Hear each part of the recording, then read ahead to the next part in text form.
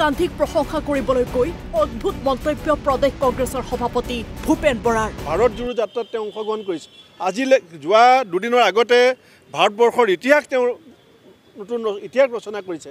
আজিলৈকে ভাৰতবৰ্ষত ৰাজনীতিক স্বাধীনোত্তৰ ভাৰতবৰ্ষত তাৰ আগত মহাপুৰুষ শংকৰদেৱৰ কথা অন্যান্য মহাপুৰুষসকলৰ কথা আমি ক'ব পাৰোঁ। পুৰী চান আমাৰ শংকৰাচাৰ্যৰ কথা ক'ব পাৰোঁ। কিন্তু স্বাধীনোত্তৰ ভাৰতবৰ্ষত এজন ৰাজনীতিক হিচাপে আজি তিনি হেজাৰ পাঁচশ কিলোমিটাৰ পদযাত্ৰা কৰি ৰাইজৰ মাজত গণতন্ত্ৰ আৰু সংবিধানৰ প্ৰতি সন্মান বৃদ্ধি কৰিবৰ কাৰণে আস্থা বৃদ্ধি কৰিবৰ কাৰণে যি কাৰ্যসূচী লৈছে সেই পৰিয়ালটোৰ লগত আমি থকাত কিয় মানুহে বেয়া পায়? গুৰুজনাক অপমান কৰিছে ভূপেন বৰাই। ৰাহুল গান্ধীক শংকৰদেৱৰ লগত তুলনা কৰি বিতৰ্কৰ মাজত ভূপেন বৰা। ৰাজনৈতিক মহলত খলকনিৰ সৃষ্টি কৰা এক বক্তব্য।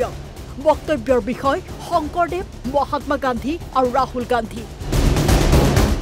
কংগ্ৰেছ নেতা ৰাহুল গান্ধীক শ্ৰীমন্ত শংকৰদেৱৰ লগত তুলনা কৰি বিতৰ্কৰ মাজত কংগ্ৰেছৰ সভাপতি ভূপেন বৰা। কংগ্ৰেছত গান্ধী পৰিয়ালৰ প্ৰভুত্ব বৃদ্ধি কৰাৰ উদ্দেশ্যে সংবাদ মাধ্যমৰ সন্মুখত ৰাহুল গান্ধীক প্ৰশংসা কৰি সমালোচনাৰ মাজত সোমাই পৰিছে ভূপেন বৰা। বৰাৰ এই মন্তব্যৰ পাছতেই খলকনি ৰাজনৈতিক মহলত। বিৰোধীয়ে একেমুখে সমালোচনা কৰিছে সভাপতি ভূপেন বৰাক পশ্চিম গুৱাহাটীৰ বিধায়ক ৰমেন্দ্ৰ নাৰায়ণ কলিতাৰ কটাক্ষ। ভাৰত জোৰো যাত্ৰাক লৈ তুলুঙা কথা কোৱা আৰম্ভ কৰিছে সভাপতি ভূপেন বৰাই। কিছুমান তুলুঙা কথা ক'ব নালাগে। কাৰণ কংগ্ৰেছাই ৰাজ্যিক সভাপতি কংগ্ৰেছাই আমাৰ ভূপেন বৰা। গতিকে তেওঁৰ কথাবিলাক পাতল হ'ব নালাগে তুলুঙা হ'ব নালাগে। মহাত্মা গান্ধীকো চেৰ পেলাই ৰাহুল গান্ধীয়ে এক নতুন ইতিহাস ৰচনা কৰিছে। গতিকে সেইটো তেওঁ এতিয়া কিদৰে ভাৰত জোৰো যাত্ৰাত তেওঁ কেনেধৰণে পদযাত্ৰা কৰিছে ৰাইজে জানে দেখিছে। কিন্তু মহামানৱ মহাত্মা গান্ধীয়ে সেই সময়ত তেওঁ এডাল লাঠি লৈ যি ধৰণে পদযাত্ৰা কৰিছিল তাৰ লগত কাৰো তুলনা নহয়। কেৱল শংকৰদেৱেই নহয় মহামানৱ মহাত্মা গান্ধীক চেৰ পেলাই ৰাহুল গান্ধীয়ে পদযাত্ৰা কৰিছে বুলি কোৱা বক্তব্যৰ প্ৰত্যুত্তৰ বিধায়ক ৰমেন্দ্ৰ নাৰায়ণ কলিতাৰ। ৰাহুল গান্ধীয়ে অত্যাধুনিক গাড়ী লৈ কৰিছে পদযাত্ৰা।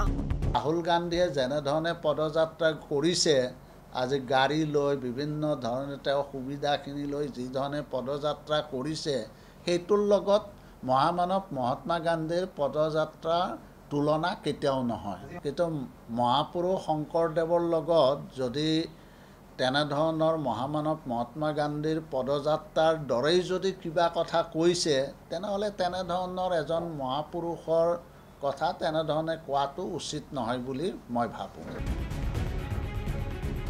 মহামানৱ মহাত্মা গান্ধী আৰু গুৰুজনাৰ লগত ৰাহুল গান্ধীৰ তুলনা কৰাটো কিমান গ্ৰহণযোগ্য?